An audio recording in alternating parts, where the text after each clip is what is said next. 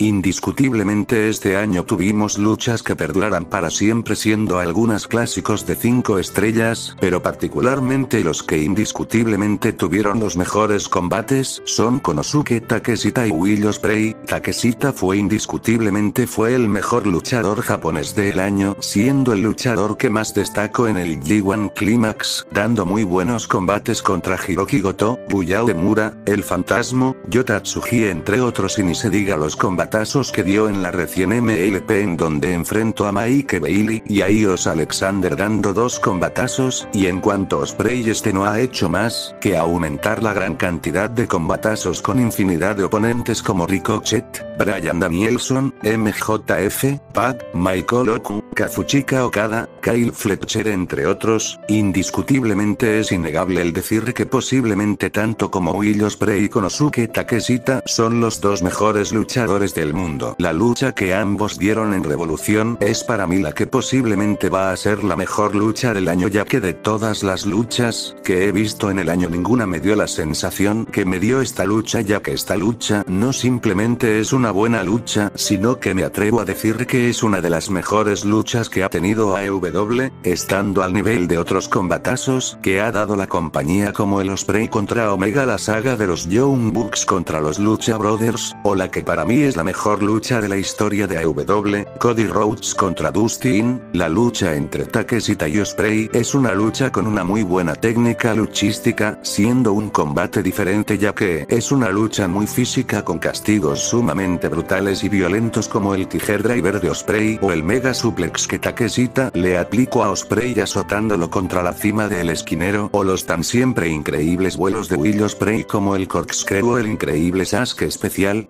Creo que lo único en lo que falló la lucha fue que literalmente fue una lucha para darle la bienvenida a Osprey de lleno a la empresa ya que en sí fue una lucha random sin rivalidad, aunque es innegable que cuando se anunció esta lucha ya todos esperábamos un gran combate ya que la calidad de ambos es innegable. De hecho me atrevo a decir que esta lucha fue incluso mejor que la que Kenny Omega y Takeshita tuvieron hace un año en All Out, en general podemos decir que AW es la empresa de las luchas random que tienen 5 estrellas. También soy consciente que aunque esta es una muy buena lucha, está lejos de ser la lucha más popular del año ya que indiscutiblemente la lucha más popular del año fue Cody Rhodes contra Roman Reigns en WrestleMania, o incluso la lucha de Osprey contra Bryan fue más popular así que aunque la lucha de Takeshita contra Osprey fue un gran combate ni de broma, fue la lucha más popular del año así que en general podríamos decir que aunque es un muy buen